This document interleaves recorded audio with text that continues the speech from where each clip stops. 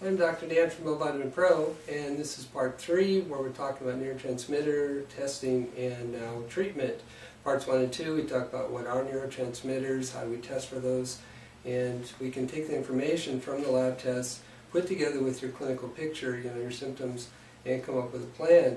And the way we, we manipulate this is with amino acids and herbs because, and there are four different things we're doing, and this is basically a little bit of neuropharmacology.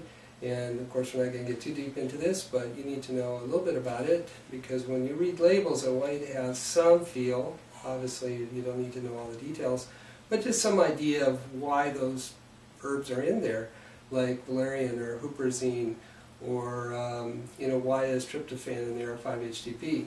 So the, there are uh, four basic things that we're trying to accomplish. One would be to increase the precursors to the, the neurotransmitters that are deficient. So if serotonin's deficient, we can add some tryptophan or 5-HTP.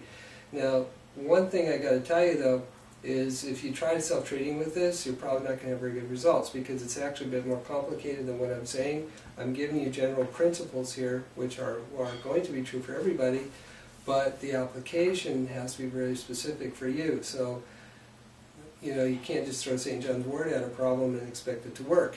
Now, that brings up the second part, which would be um, reuptake inhibition, which um, there's a whole science of that, but St. John's wort is actually uh, what's called a monoamine reuptake inhibitor. That would be serotonin, dopamine, and norepinephrine, and that works tremendously for some people, not so good for others, because you're also increasing dopamine and norepinephrine, which are excitatory, but decreasing uh, or increasing serotonin, which is an inhibitory pathway. So it's not quite specific as you might want, but for some people, of course, it's, it's fantastic.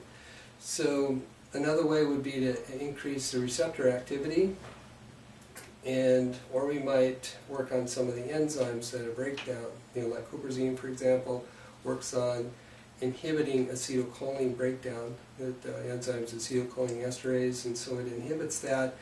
So, you know, it's not that you need to really remember all these, because obviously you're not going to, but I want you to have an idea of how it is that in the natural world we can use these amino acids and herbs and give you some really great results and help balance out your neurotransmitters, which is what we're trying to accomplish here. So read through uh, read through the text here that I put with this video, and if you're looking at this on um, on my website, you'll have a slightly different version of this, but I'll I'll have some of these uh, examples in there. So the you know there's a fantastic what we can do with uh, with these uh, supplements today. It's uh, it's been it's been so rewarding and phenomenal. So anyway, uh, give us a call and uh, we'll do what we can for you to get your neurotransmitters good so that you're, um, you can get rid of that anxiety, depression, insomnia, fatigue. So that's, uh, that's all we have for today, so thanks a lot for listening.